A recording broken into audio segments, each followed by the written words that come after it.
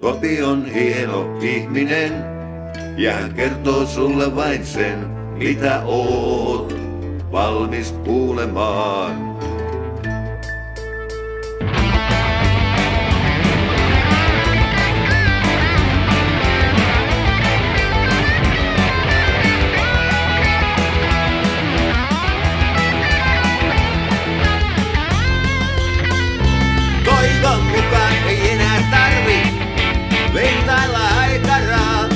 todo mundo a passar só.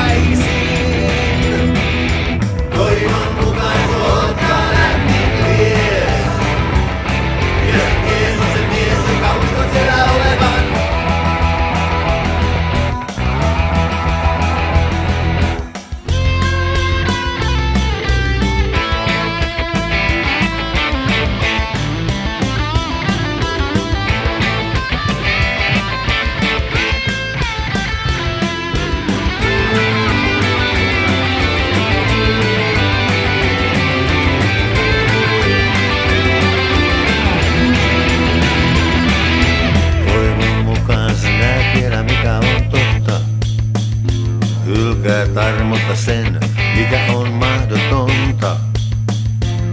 Ja nyt on tarpeeksi satanut tupaalunta, eikä elämä on pelkkää paina ja suunta. Ei sua ota vielä taivasten valtakunta, ja jo riittää toi ristiriipunta.